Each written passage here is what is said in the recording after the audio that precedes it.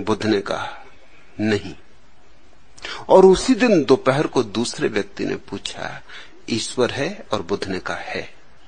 और उसी दिन साँझ को तीसरा आदमी आया और उसने पूछा, क्या ईश्वर के संबंध में मुझे कुछ समझाएँगे? और बुद्ध कुछ न बोले। उन्होंने आँख बंद कर ली। वह आदमी भी आँख बंद करके बैठ रहा। थोड़ी देर बैठा रहा, फिर उठा, उसने बुद्ध के चरण छुए और कहा कि, धन्यवाद। आपके उत्तर के लिए धन्यवाद। आनंद जो बुद्ध के साथ छाया की तरह रहता था। सदा 24 घंटे उनकी सेवा में तत्पर। उसने ये तीनों बातें सुनी थी। सुबह, दोपहर, साँझ। चकित था, उलझन में पड़ा था। सबके सामने तो कुछ पूछ नहीं सकता था, लेकिन रात जब बुद्ध और आनंद अकेले रह गए, जैसे ही बुद्ध लेटने के लेटने को हुए, आनंद ने कहा कि इसके पहले कि आप सोएँ मुझे निश्चिंत कर दें, नहीं तो मैं रात भर सो ना सकूँगा। आप मेरा भी तो कुछ ख्याल किया करें। जिन तीन आदमियों को आपने तीन उत्तर दिए, उनको तो एक पता नहीं है कि दूसरे को आपने क्या कहा। मुझे तीनों के उत्तर पता हैं। मेरी मुसीबत तो समझे, मैं सो ना पाऊँगा।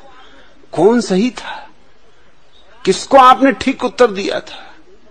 और आप किसी को गलत उत्तर क्यों देंगे? ये भी सवाल उठता है। आप और गलत क्यों बोलेंगे? बुद्ध ने कहा, देख आनंद, पहली तो बात उसमें से कोई भी उत्तर तेरे लिए दिया नहीं गया। दूसरे से जो कहा, उसको सुनना उचित बात नहीं। ये तो यूँ हुआ जैसे कोई दूसरे की चिट्ठियाँ खोल के पढ़ ले। ये बात नाजायज। आनंद का आप भी हद करते हैं। अरे मैं वहाँ बैठा हूँ, मेरे कान है। किसी की चिट्ठी खोल के मैंने पढ़ी नहीं, मगर कान है, अब इनको तो बंद करने का भी उपाय नहीं। परमात्मा ने भी आँखों को तो बंद करने का उपाय दिया कि मत देखो। कान को खुला छोड़ दिया, बंद करने की कोई जगह ही नहीं। अब मैं करता भी क्या? आप बोलते थे सो मैं सुनता था। मैंने सुनना चाहा नहीं था, मगर सुनाई पड़ गए। और अब जो हो गया सो हो गया, मगर हल कर दें, ताकि मैं भी निश्चिंत होकर सो जाऊँ। दिन भर उधेड़बन में लगा रहा। एक से कहा कि ईश्वर है, एक से कहा नहीं है, और तीसरे के साथ चुप ही रह गए। बुद्ध ने कहा, सत्य सापेक्ष जिससे मैंने कहा ईश्वर है, वह नास्तिक था।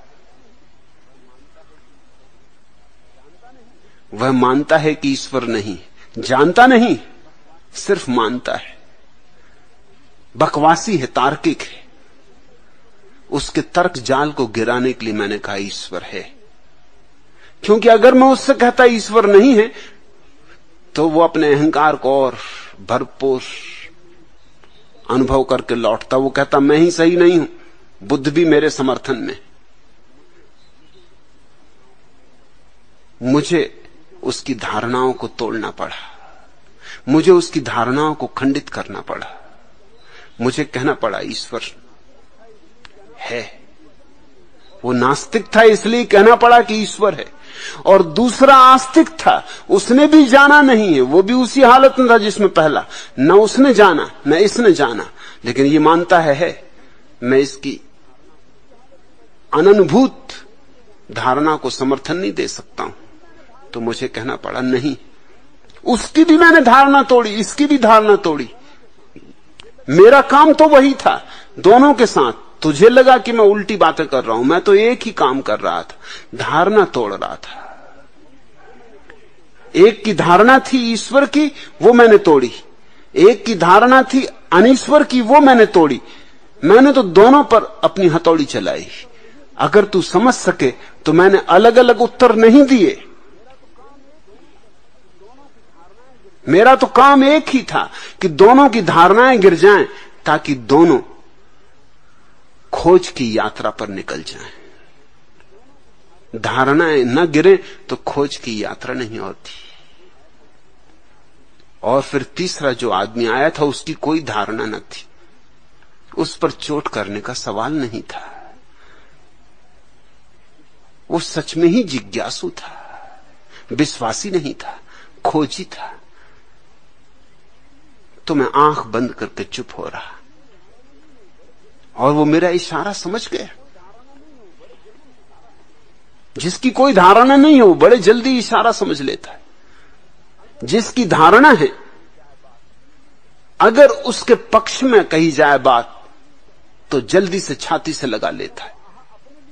और कहता, आहा, असल में वो आहा अपने लिए कह रहा है। वो ये कह रहा, आहा, मैं कितना ठीक था। यही तो मेरी मान्यता है। और अगर उसकी धारणा को गलत कहा जाए तो एक तो वो सुनता ही नहीं, इंकार ही करता है। भीतर कहता कि नहीं, ये गलत। भीतर ही नहीं घुसने देता। और अगर घुसने भी दे तो उसे अपना रंग दे देता है, अपना ढंग दे देता है। किसी तरह तोड़ मरोड़ कर लेता, विकृत कर लेता है। लेकिन इस व्यक्ति की कोई धारणा न थी जो साँझ को आया था। ये बड़ा निश्चल व्यक्ति था, बड़ा निर्दोष, बड़ा जिज्ञासु। मैंने आँख बंद की, वो इशारा समझ गया उसने पूछा था कि ईश्वर है या नहीं। ये उसका प्रश्न, सच्चा प्रश्न था प्रमाणिक प्रश्न था। कोई पूर्वाग्रह न था। तो मैंने आँख बंद कर ली, वो इशारा समझ गया, उसने भी आँख बंद कर ली। ये मेरा उत्तर था उसके लिए कि मौन हो जाओ, जान लोगे, चुप हो जाओ, जान लोगे, ध्यान में डूब जाओ, जान लोगे।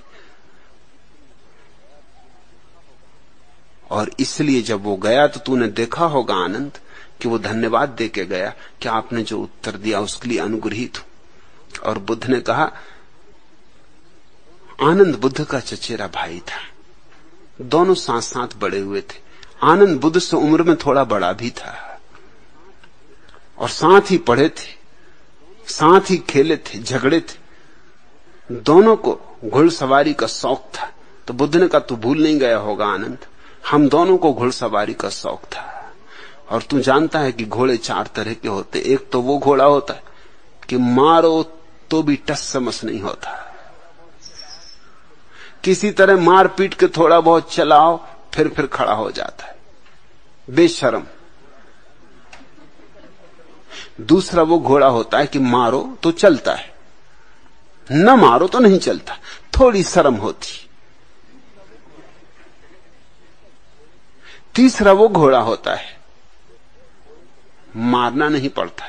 सिर्फ़ कोड़े को फटकारना पड़ता है। सिर्फ़ कोड़े की आवाज़ चटक, पर्याप्त है। और घोड़ा चलता है। और चौथा वो घोड़ा होता है। उसे घोड़े की फटकार, कोड़े की फटकार भी देने की ज़रूरत नहीं। उसे कोड़े की छाया भी काफ़ी होती। कोड़ा मौजूद है यह भी काफ़ी होता है। छाया भी काफ़ी होती। और ऐसे ही चार तरह के आदमी होते। और उन चारों के लिए मुझे अलग अलग ढंग से आयोजन करना होता अलग अलग ढंग से उपाय करना होता है। पार्थ